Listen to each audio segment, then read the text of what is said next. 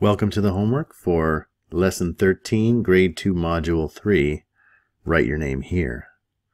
And we're drawing pictures of place value disks to show the numbers. So we're just drawing pictures of things we can count. These are all HTO charts without the H, the T, and the O. So you can write those in right off just to see them and get in the habit of seeing hundreds with tens in the middle and ones on the left.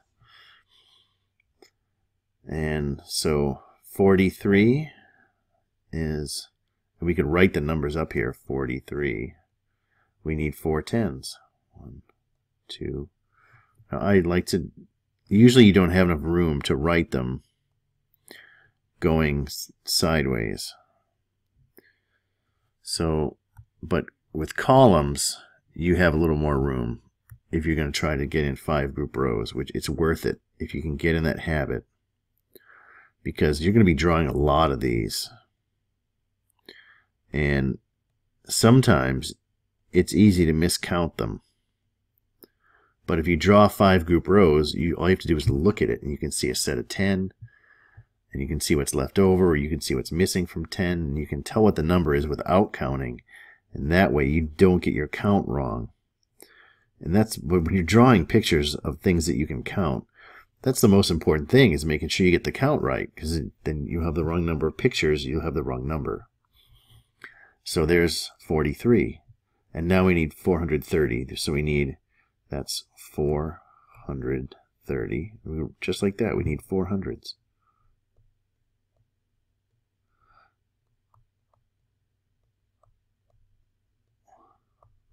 100, 100, 100. And then three tens. One, two, three.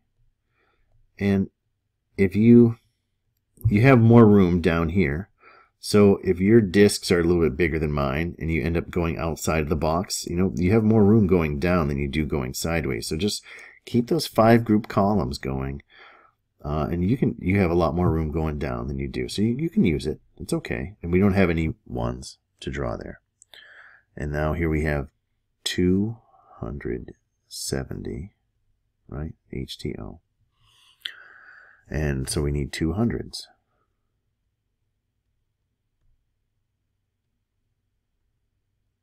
One hundred, one hundred, and we need seven tenths. One, two, three, four, five, six, seven. See how I went I just went right out. I went right past the bottom of the box. It's okay. We can just, we can tell that's a 10 and it's worth the other 10s.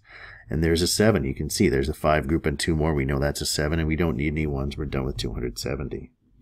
So 720. I mean, need 7, 2, 0. We need 7 hundreds. 2, 3, 4, 5, 6, 7.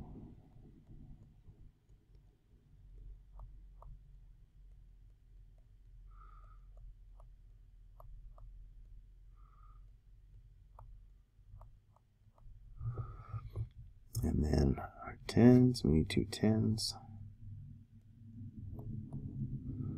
And we don't need any ones, so we're done with 720. 702. I'm going to zoom in on this one if I can. 702. Four, five. All right, this is H, T, O. I need seven, 0 tens, 2 ones.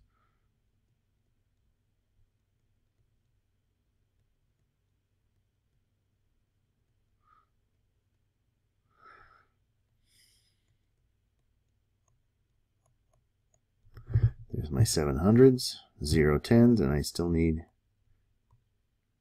two ones. And now we're looking at 936. I'm going to try to make this even bigger kind of wish I had done this with all of them. We have H. This is the tens, and this is the ones. Hundreds, tens, and ones. And we need 936. So we need nine hundreds. One, two, three, four, five, six, seven, eight, nine.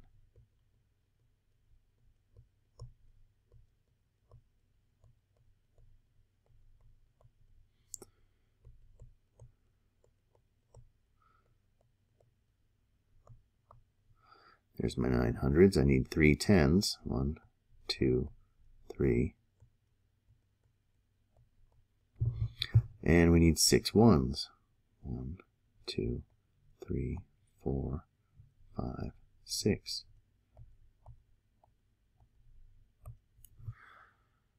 Nine hundred thirty-six.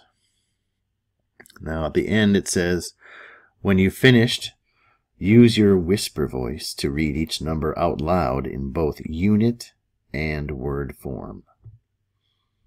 So remember, unit form is we're saying the words hundreds, tens, and ones for the units for each digit.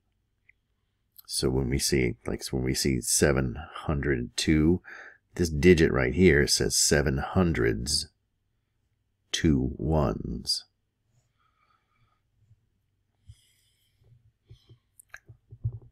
And let's do that. So we're saying this in, in when you say it in word form, saying a number in word form sounds exactly the same as saying it in standard form. It's when you write it that makes it different. So when you write it in word form, you're using only words, no numerals at all. So this would be four tens, three ones, 43.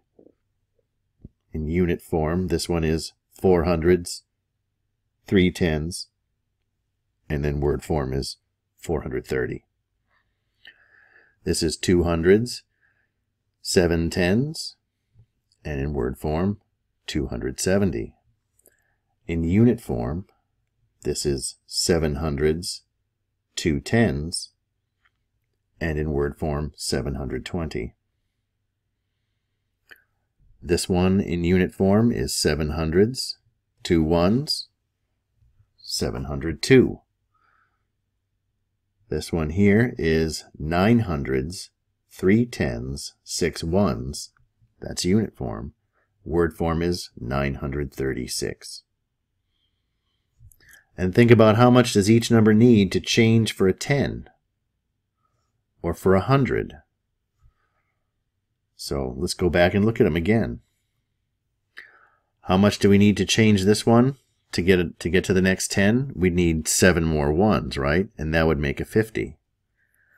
And then five more tens would get us to the next 100. Looking at this 430, we're already at a 10. So we would need seven more tens to make a 100. And that would be 500. The 270 is already at a 10. So if we wanted to make the next 100, we would need one, two, three more tens. Think about what's missing in the 10 frame, right? There's three tens missing. So you would need three more tens, and then you'd have a bundle. You could bundle this up as a 100. The 720, again, this is already a 10, so we don't need to add any ones to it. But if we're going to finish this 10 frame of tens to make a 100, we'd need eight more tens because we only have two of them here.